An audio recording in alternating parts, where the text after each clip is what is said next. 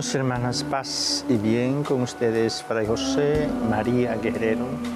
En este su programa, La Biblia Ilumina tu Vida, su canal Televida, el canal católico de la familia, su escuelita de espiritualidad, contenido La Filiación Divina. Hermanos hermanas, hoy 11 de septiembre, pues recordamos, ¿verdad?, ese hecho, esa catástrofe, ese drama que afectó realmente a toda la humanidad, el mal, el pecado. Oremos hermanos, hermanas, para que el pecado, el pecado, la maldad, desaparezca del corazón del ser humano. El pecado no pertenece al plan de Dios para con nosotros, hermanos, hermanas. Por eso insistimos en esta espiritualidad de la filiación divina, que lleguemos a la conciencia de nuestra esencia.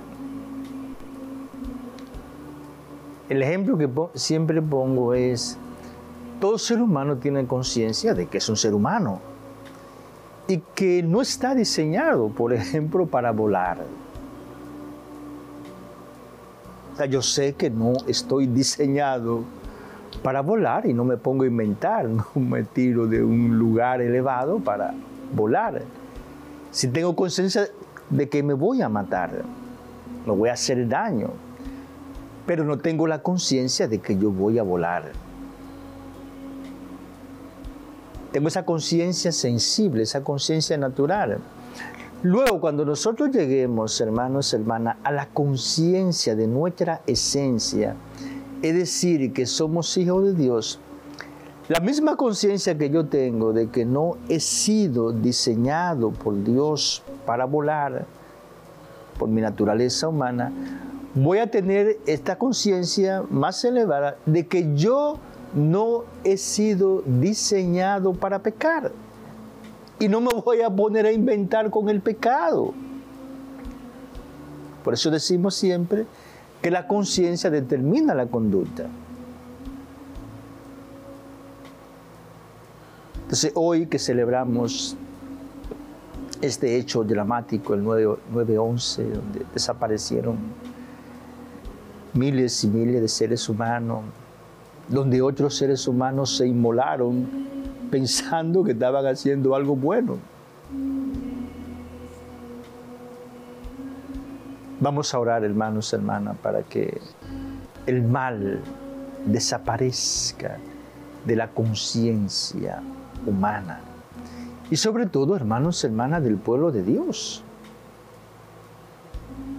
Yo puedo decidirme a hacer el mal, pero un cristiano, un hijo de Dios, que se decida hacer daño al otro, eso, no, no, tiene sentido. Como no tiene sentido que yo me tire de un lugar alto pensando que voy a volar.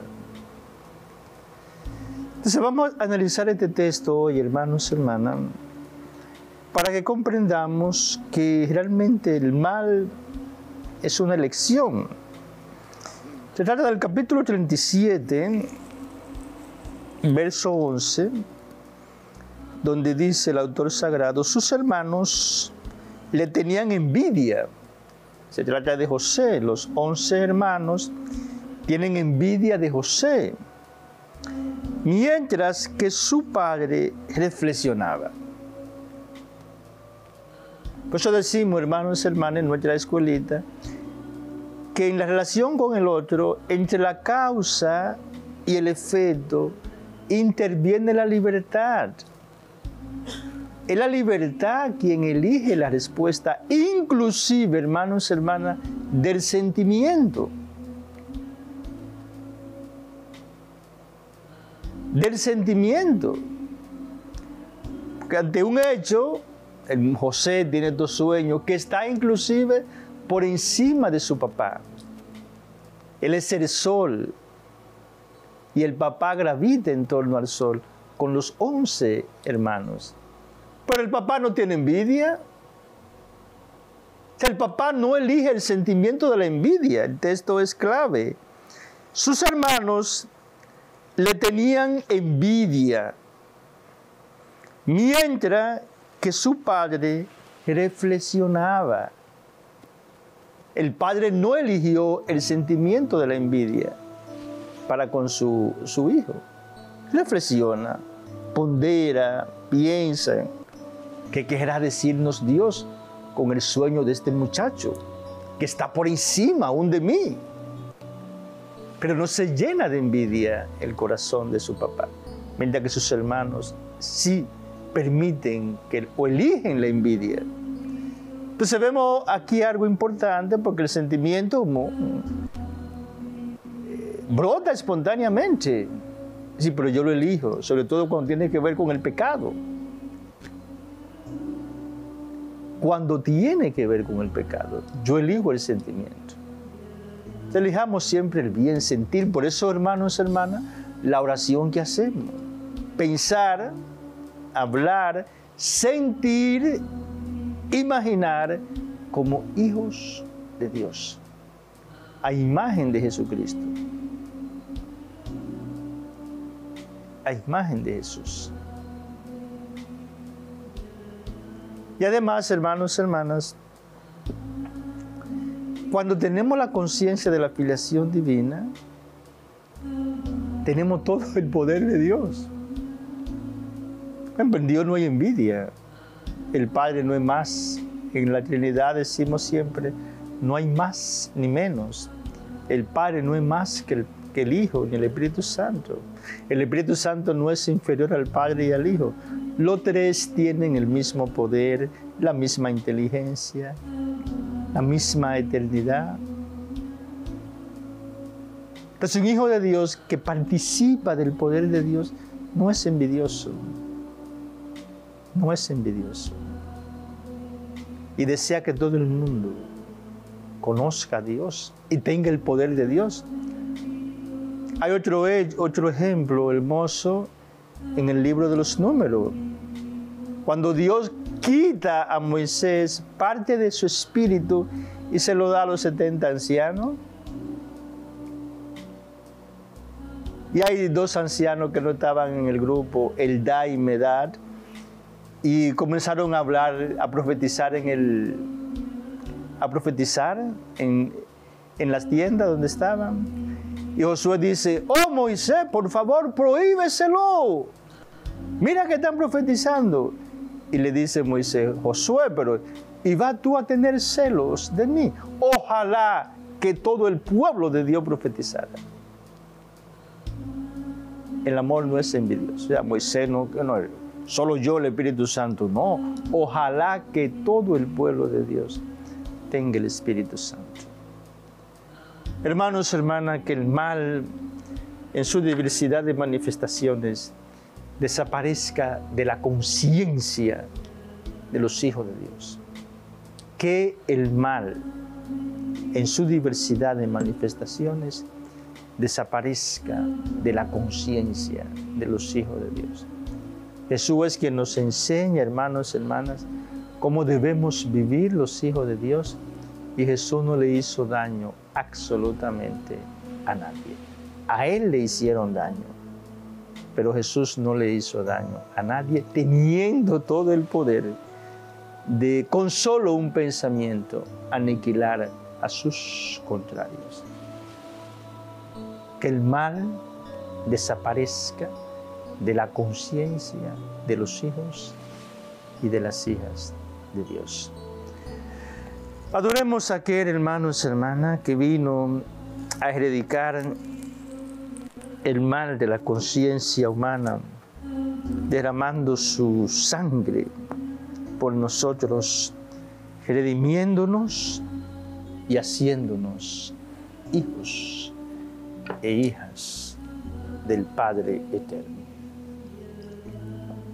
Señor mío y Dios mío, creo firmemente que estás presente en la hostia sagrada, en la plenitud de tu amor, en la plenitud de tu poder en la plenitud de tu divinidad, creo, en, ti y, te, adoro.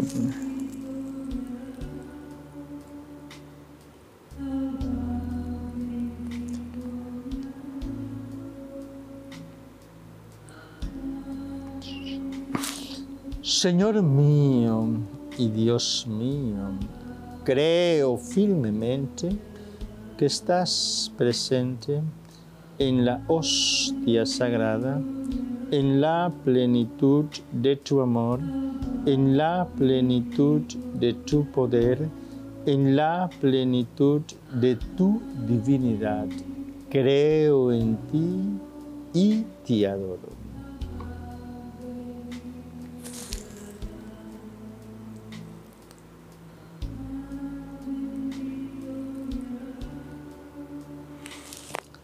Señor mío y Dios mío, creo firmemente que estás presente en la hostia sagrada, en la plenitud de tu amor, en la plenitud de tu poder, en la plenitud de tu divinidad.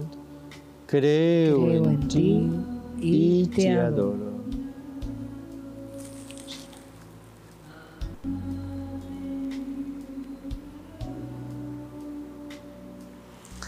Padre infinitamente bueno, infinitamente santo, infinitamente amado, concédenos el don del Espíritu Santo para que durante la jornada de este día podamos pensar, hablar, sentir, imaginar y actuar como hijos tuyos, a imagen de Jesucristo, tu Hijo amado.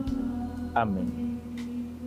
Amén. Padre infinitamente bueno, infinitamente santo, infinitamente amado, concédenos el don del Espíritu Santo para que durante la jornada de este día podamos pensar, hablar, sentir, imaginar y actuar como hijos tuyos a imagen de Jesucristo, tu Hijo amado.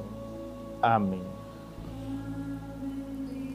Padre infinitamente bueno, infinitamente santo, infinitamente amado concédenos el don del Espíritu Santo para que durante la jornada de este día podamos pensar, hablar, sentir, imaginar y actuar como hijos tuyos a imagen de Jesucristo, tu Hijo amado. Amén silêncio, intimidade, presença, adoração.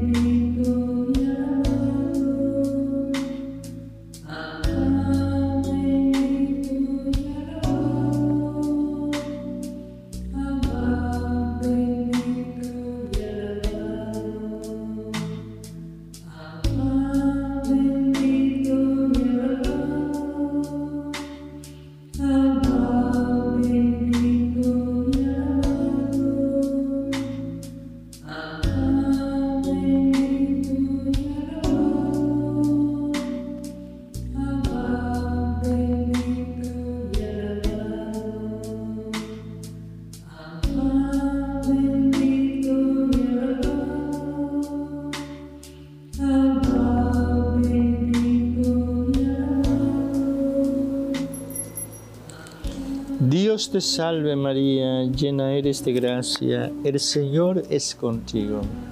Bendita eres entre todas las mujeres, bendito es el fruto de tu vientre Jesús. Santa María, Madre de Dios, ruega por nosotros pecadores, ahora y en la hora de nuestra muerte. Amén. Gloria al Padre, al Hijo y al Espíritu Santo. Como era en un principio, ahora y siempre, por los siglos de los siglos. Amén. María Santísima, Virgen de la Altagracia, protectora del pueblo dominicano. Ruega por nosotros. María Santísima, Virgen de las Mercedes, patrona del pueblo dominicano. Intercede por nosotros. María Santísima, embajadora del Espíritu Santo, visítanos y salúdanos como saludaste a tu prima Santa Isabel. Para que se despierte en nosotros la conciencia filial. Oremos. Amado, eterno y adorado Jesús, Hijo del Dios vivo, eres el buen samaritano que nunca pasa de largo ante una necesidad humana te suplicamos por la intercesión de María Santísima de San José, que tú pongas en cada televidente, en cada miembro de su familia, el vino que tú sabes hace falta. Tú que vives y reinas por los siglos de los siglos. Amén. Jesús, en ti confío. Jesús, en ti confío. Jesús, en ti confío. Jesús, en ti confío. Jesús, en ti confío. Jesús, en ti confío.